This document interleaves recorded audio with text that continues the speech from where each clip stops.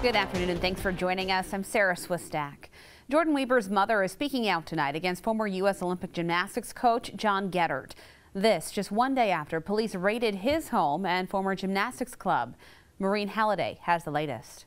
Well, I was encouraged to think that um, there's still a chance that justice is going to be served.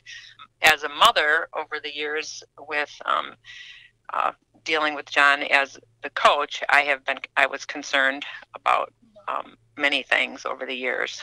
Tuesday, the Attorney General's office and Michigan State Police raided the home and gym of former Olympic gymnast coach John Geddert.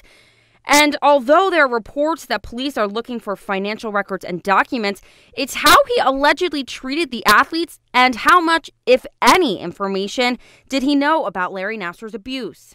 Knocking uh, some of the athletes off uh, the uh, equipment that they participate on intentionally, uh, some that have had their foot stomped on, uh, water bottles uh, having been thrown at them.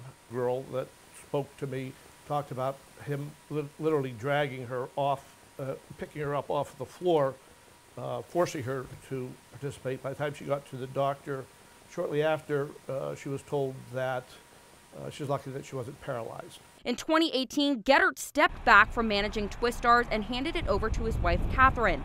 I reached out to the Michigan Department of Licensing and Affairs, who said they didn't see any red flags when they switched management. But Middleman, who represents 112 of Nassar survivors, said he believes Geddert had a bigger role in the abuse. He was a bully, and the girls were afraid of him. Nassar would go to them uh, and uh, say, you know, John just wants the, the, the best for you. And that was Maureen Halliday reporting. The Attorney General's office is not commenting on the investigation until it's completed. Geddert's attorney also had no comment. No charges have been filed against Geddert, although the gym he formerly owned is named in dozens of lawsuits.